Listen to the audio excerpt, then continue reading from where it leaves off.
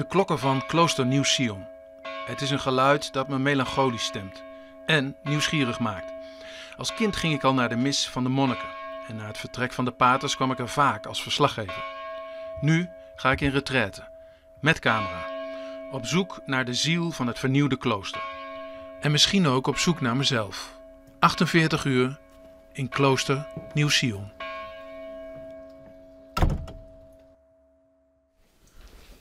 Hedy Bart, welkom. Fijn dat je er bent. Het is je stilste gebied, wou even stil. De ontvangst is in stijl, in stilte dus. Peter Dullaert, mededirecteur, leidt me naar de abtskamer. En daar mag wel gepraat worden. Hé hey Bart, Ik mag gaan zitten? natuurlijk, wat dacht je dan? Jas uit. Ja, dan, anders heb je er ook geen warmte meer van. Nou, hé, hey, jij komt een eh, paar dagjes hier, hè, of niet? Stoel kraakt. Ja, ja, lamp gaat aan en uit. dus alles staat op instorten. Spookklooster. ik kom logeren, ja. Fijn. Ik weet niet of ik het een retraite eh, moet noemen, maar ik mag bij jullie te gast zijn. Ja, In klooster Nieuw-Sion. ja. En ik was altijd heel erg gefascineerd door eh, het oude klooster. De abdij toen nog volgens mij, want er was een abt. Juist. Maar sinds zes jaar is dat niet meer. Nee, de monniken zijn naar Schier gegaan. Het werd ook zo ontzettend groot. Ze konden het niet meer. Ze waren met z'n acht en 7.500 vierkante meter bebouwde oppervlakte. Dat ging niet meer. Maar goed, gelukkig hebben we dan met Nieuw Sion toch een doorstart kunnen maken. En het bidden en werken gaat door. Dat is het belangrijkste. En de stilte natuurlijk ook. Ik ben heel benieuwd. Heb je wel eens zo'n getijdengebed meegemaakt? Ik heb wel eens eh, eh, om 12 uur iets gevolgd. eh. Oké. Ja. Nou kijk, de stille meditatie is gewoon alleen maar stilte, verder niks. Die kan iedereen invullen zoals die wil. De andere getijdengebeden hebben natuurlijk ook liederen, lezingen en gebeden. Nou, dan kan het ook zijn dat er een bepaalde lezing is uit een psalm of uit evangelie. eh, Die je heel erg inspireert of die je verschrikkelijk tegen de borst stuit. Of eh, waar je helemaal niks aan vindt. Dat is ook interessant om nog te registreren. Wat doen die teksten die hier rondvliegen, wat doen die met mij? Ja. Maar dat zie je allemaal vanzelf. Ja. Ik kan het gewoon op me in laten werken. Daarom, dat is de bedoeling. Goed zo, hé. Hey, hey, is de geest van de monniken, is dat hè? Die waren hier nog steeds rond. Ja, ja, misschien, je weet het niet. Ik hoop dat je hele fijne dagen hebt, Bart. Hartstikke leuk. Dankjewel. Ik, eh, Fijn dat ik hier mag zijn en eh, Goed, ik ga, eh, ik onderga het. dat is het beste. Dat is het beste.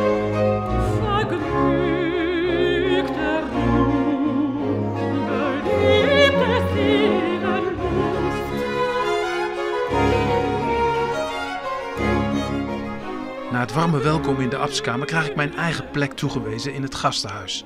En vanuit mijn kamer zie ik op deze vroege vrijdagmorgen de eerste van een grote groep vrijwilligers die klussen in het klooster.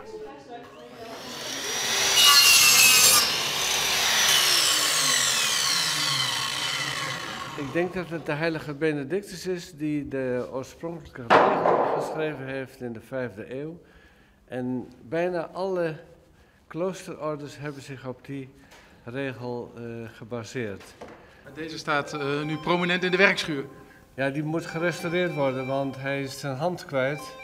En die hand is toch wel heel belangrijk, want die wijst toch welke kant wij uit moeten. De telefoon gaat. Ja, mijn telefoon gaat Neemt u ja. maar op, hectiek in het klooster. Hectiek in het klooster, oké. Ja, we doen al. Gaat dat goed mannen? Uitstekend. Uitstekend. Ik ben eh Bert Klops. Ik ben hier eh medeklusser. Ik doe dit eh, voor, voor mijn ouders. Die zien dat te boven dat ik dit doe, denk ik. En zodoende. En ik doe het graag hier. Vrijdags, dinsdags, woensdags soms. Straks aan de hemelpoort staat en Petrus wacht u op. Ik hoop het. Ik hoop het wel. En dat hij zegt, goed gedaan jochie. Eh, ik denk het wel, ja. Ik hoop dat ze zeggen, jochie. Dat, dat wordt niet vaak gezegd. Nee, dus ik ben nu uh, 70, maar... Zo, klaar. Bij Nieuw Sion zijn in totaal 150 vrijwilligers actief. De onderlinge verbondenheid is groot. Maar dat kan niet voorkomen dat er een enkeling in de problemen komt op het enorme complex. Ja, ik zit opgesloten. Help! Ik zie geen ladder. Nee, dat klopt. Die, eh, die is hier in de schuur. En als ik nou wegloop? Ja, dan, eh, dan blijf ik hier nog even staan totdat er iemand anders langs loopt. is niet helemaal volgens de christelijke normen en waarden, hè? Nee, hoezo hè? Weglopen. Weglopen. Nee, maar ik ga er ook niet vanuit dat je dat doet. Zou, je zou wel een schurk zijn. Eerst eh, een interview afnemen en dan eh, mij lekker laten zitten. Ja, dit gaat helemaal goed. Ja, ja. Kijk, de eerste christelijke daad is al verricht. Maar met ora et labora als lijfspreuk van de monniken wordt meer gevraagd van de verslaggever. Eerst werken en daarna het eerste getijdengebed.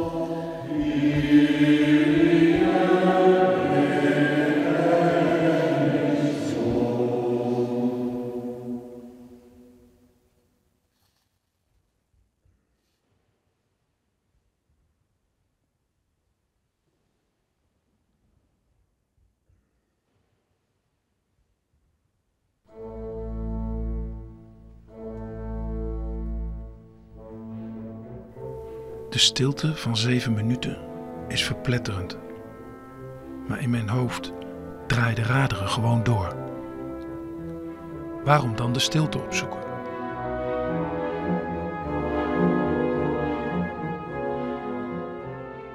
Ze vragen mij ook wel eens, eh, waarom vinden jullie hier op Klooster Nieuw-Sion stilte eigenlijk zo belangrijk? Nou, dan antwoord ik altijd, hoe stiller je bent, hoe meer je hoort.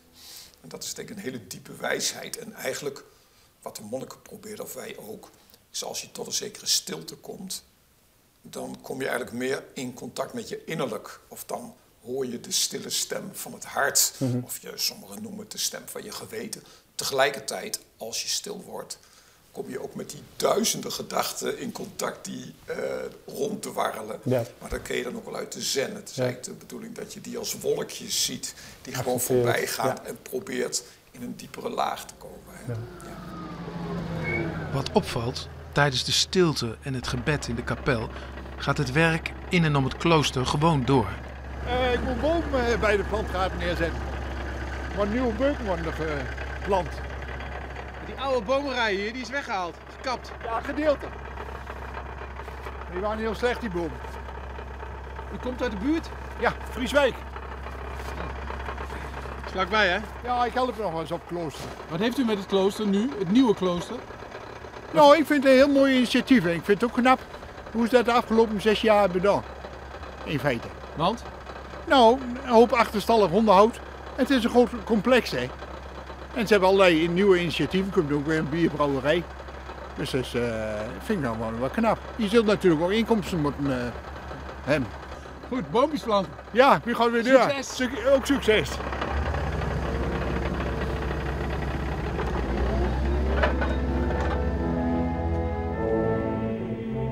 Op zoek dan naar de gloednieuwe brouwerij, achter op het terrein van het oorspronkelijke boerderijklooster. Onderweg door de verstilde kloostergangen tref ik opnieuw Ruud, misschien wel het Benedictijnse geweten van Nieuw-Sion.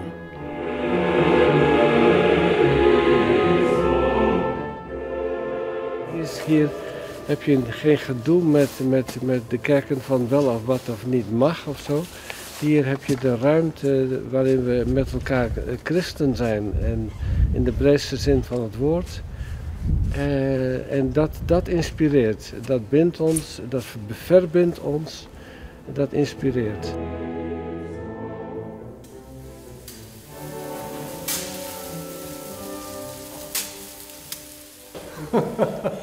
Ik sta tussen de ketels. Zijn je schoenen waterdicht?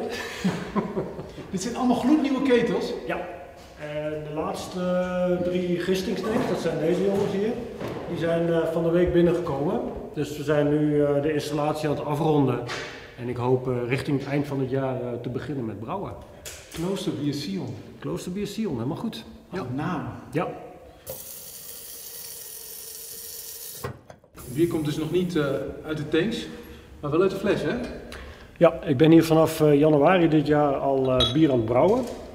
En dat is vooral om ja, zeg maar de recepten te ontwikkelen voor de bieren die we hier voor ogen hebben. En dat zijn de traditionele kloosterbieren. En misschien een klein beetje een buitenbeentje voor kloosters, dat is de Saison. Maar Saison is een typisch boerderijbier.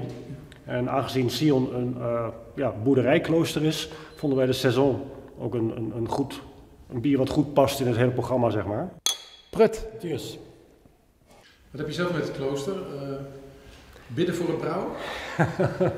Nee, na het brouwen. Dat, dat het maar mag lukken. Mooi is, je hebt dit allemaal zelf aangelegd. Ja, het was op zich nog een hele puzzel. Maar eh, de brouwinstallatie is grotendeels ook naar mijn wens eh, gebouwd, zeg maar. En ik vind dat je als brouwer gewoon ook moet weten hoe het technisch in elkaar zit.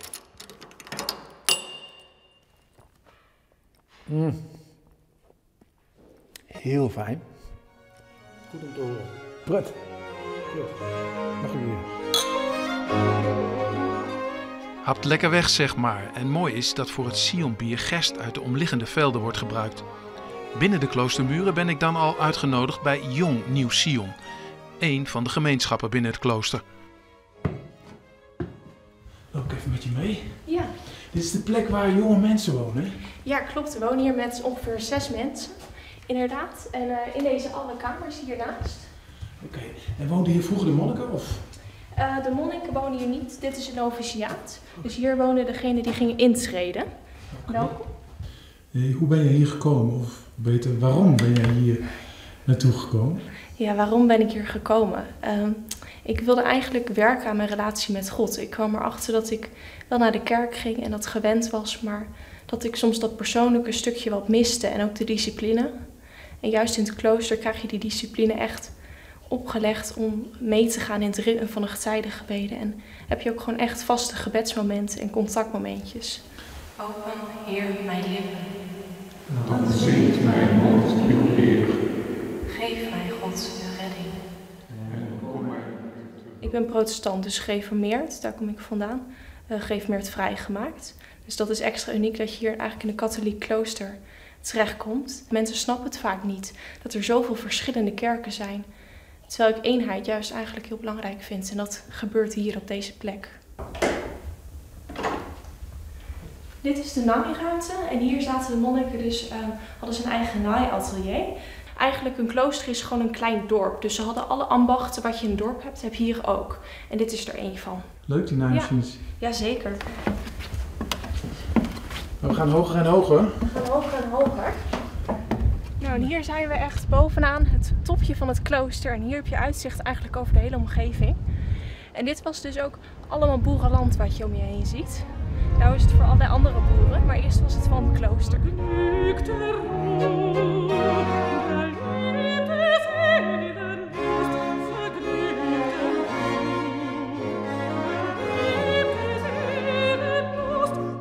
Geliefde zielenrust. En dat straalt het klooster ook uit.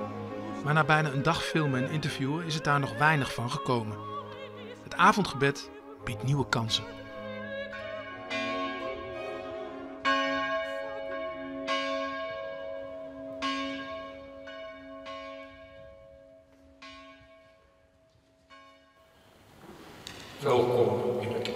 Avondgebed. Ik wil zingen en spelen voor de Heer. Hoor mij, Heer, als ik tot u roep. Wees genadig, u antwoordt mij.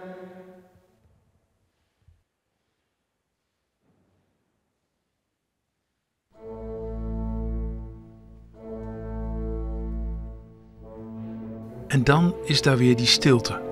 Zeven minuten. Het zet vooral ook aan het denken. Wat doe ik hier? Maar het maakt ook bewust van de kou in de kapel. Lieve hemel. Uh, je was dik ingepakt. Ja, het is koud. Ongelooflijk hè? Het is ontzettend koud in de kerk. Ja, ja s winters hebben we ook nog wel eens een kruikje.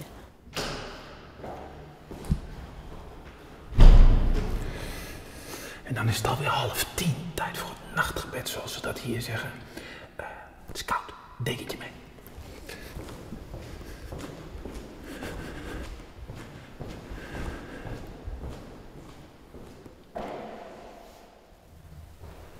De lezing vannacht is uit Matthäus 9.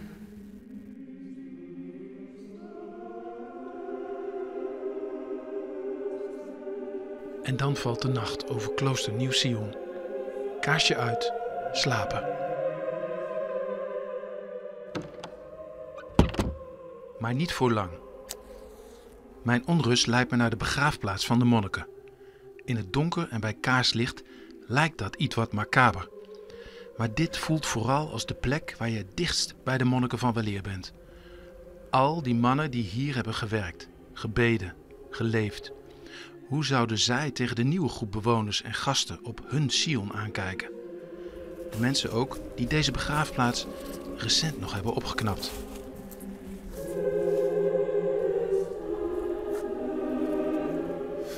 Even een kruis slaan, onze Vader, die in de hemel zijt, voor deze vrome broeders die hier liggen te rusten. Hopelijk in vrede.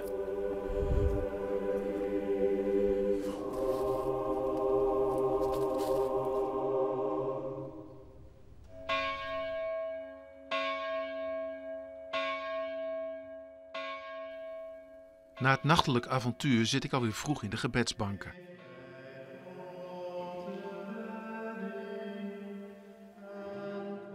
En daarna ontbijt in het gasthuis bij Margriet. Ja, ze hebben een heel mooie term bedacht. Kloostermedewerker, ontbijt en zalen. Dat klinkt als een klok en smaakt naar veel meer. Vindt ook Rianne, een van de vele gasten die regelmatig in retraite gaat en hier een boek schrijft. Uh, en het gaat eigenlijk over het proces dat ik uh, opgegroeid ben in een hele streng christelijke omgeving. Uh, en uiteindelijk in mijn puberteit ontdekte dat ik op meisjes verliefd werd. in een omgeving waarin het echt onbesproken was en het ook als zonde gezien werd en zelfs als gruwel werd benoemd. En dat heeft er bij mij voor gezorgd dat het een hele lange weg is geweest om uiteindelijk voor mezelf uit te komen. en me open te stellen voor de liefde. Ik ben inmiddels ruim drie jaar getrouwd met een vrouw. En uh, die liefde heeft mij ook weer teruggebracht bij God. Maar dan op een hele andere manier dan uh, de God van mijn jeugd. En koffie en thee staat er te gaan. Bij Sion vindt ze de God van liefde in een open sfeer en in stilte. Maar ook in verbondenheid met de mensen van het klooster. Ja, dan merk ik wel echt dat ik wel opgeladen raak van, van dit. Ja. En weer verlangen naar de volgende sessie. En dan weer verlangen naar de volgende sessie. Die er zeker gaat komen.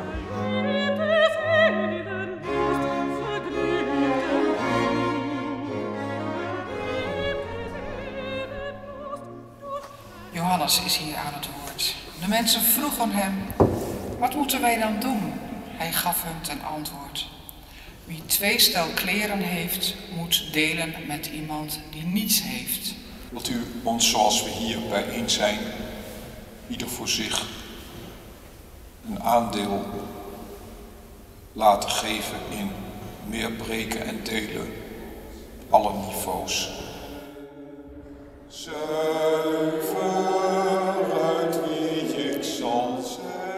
Het is inmiddels mijn vijfde getijdengebed en weer inclusief zeven minuten stilte. Ik merk dat ik aan een verzetje toe ben. Dat vind ik bij Badi, met Franse roots, in de keuken van de koffieschenkerij. We werken hier met heel grote plezier, al de hele zomer en nu de herfst. Ja, dat is fantastisch. En we zijn zo blij. Echt. We krijgen zoveel mooie energie hier, dat we nog steeds verbaasd zijn. Elke dag weer. En wat voor energie is dat dan? Wat voor mensen? Nou, de mensen hier uh, van alle windstreken eigenlijk, echt gelovige mensen natuurlijk, maar ook wandelaren uh, die wandelen in de bossen. Wandelaren, noemen ze dat zo in Frankrijk? Uh, ja. of wandelaars? Wandelaars. Meen, hè? Die onze mooie bossen bezoeken. Vooral nu in de herfst en in de winter is het natuurlijk prachtig, met alle geuren bij en kleuren. Ja. En, en er wordt af en toe gezongen, hoorde ik. Wat zegt u? Er wordt af en toe gezongen vanuit de keuken, hoorde ik. en gedanst ook. Ja. Moet het leuk houden, hè? maar ja, zou je willen dat we een liedje uh, Ja, een klein liedje. Ik hoorde gisteren ook iets. Oké, okay. dan uh, ga ik een heel bekende liedje uh, zingen. Die is Frère Jacques. Frère Jacques, Jacques, frère Jacques, dormez-vous, dormez-vous, sonnez les matines, sonnez les matines, ding ding dong, ding ding dong. Is prachtig, maar het is geen psalm, hè, zoals in de kapel Ja, zingen. nee. Je wilde een vrolijke lied, dus eh, ja. Frère Jacques. Het is de heerlijke energie van Badi die ik meeneem naar de achterste vleugels van het klooster. Naar de gezinnen in de woongemeenschap. Ook boordevol levenslust.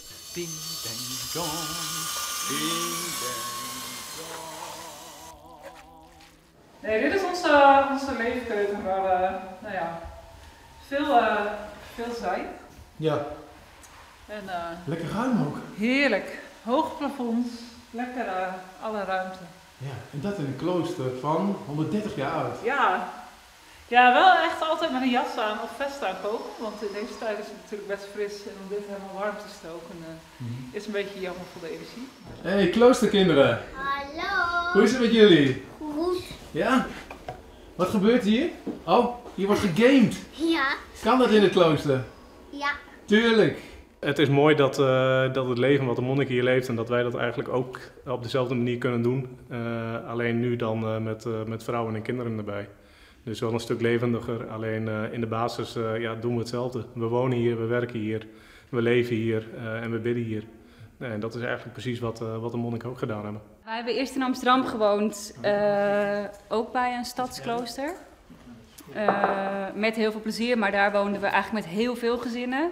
En daar barstte iedereen, of barstte eigenlijk heel de gemeenschap uit zijn voegen qua midden op de wallen was dat. Dus wij hebben nu een beetje het, het gebed wat we eigenlijk wilden behouden. En dan nu op het platteland, echt in een oud klooster. En met een prachtige mix van mensen, jong en oud.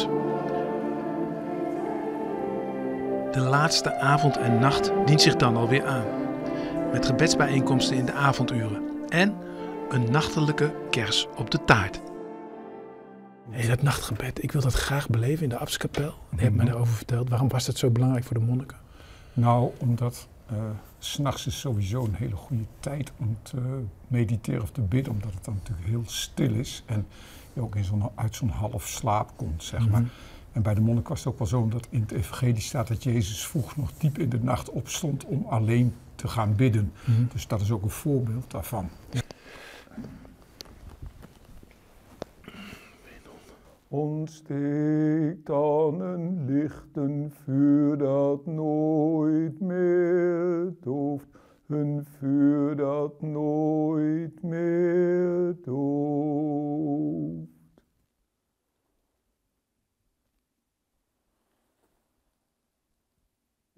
Vuur dat nooit meer dooft, een vuur dat nooit meer dooft. En dan zit de 48 uur in klooster Nieuw Sion er bijna op. Negen getijdengebeden hebben me geen ander mens gemaakt. De flipperkast in mijn hoofd flippert nog steeds lekker door. Maar ik merk wel dat ik na al die interviews en indrukken nog steeds veel energie heb. En dat is wel eens anders geweest. Het zou zomaar door de terugkerende momenten van rust en stilte kunnen komen. Voor de laatste keer loop ik dan door de kloostergang om afscheid te nemen van Peter. Ja, wat me vooral blij heeft gemaakt, dat zijn de mensen natuurlijk. Eh, Mhm. Wat een diversiteit, eh, Mhm. eh, wat een levensvreugde ook. Mhm. En wat een toewijding. En als je het dan hebt over die toewijding, dan denk ik ook van... Dat zet mij ook wel aan het denken, de, die godsbeleving. Bestaat God, weet je wel? Dat Mhm. komt dan wat, voor mij dan wel weer... Vraagteken. Ja, ja, dat is een grote zoektocht Ja. voor iedereen Ja. trouwens. Ja. Ook al als je hier zoveel bent en zoveel bidt of wat dan ook. Het is niet dat je dan God dan aan een touwtje hebt of zoiets dergelijks. Het blijft een groot mysterie. Ja. Ik dank je hartelijk, een box in Hartstikke fijn dat je En, er was, eh, man. Kom nog een keer terug. hè? daar is de uitgang, heel goed, daar is de deur. Groeten.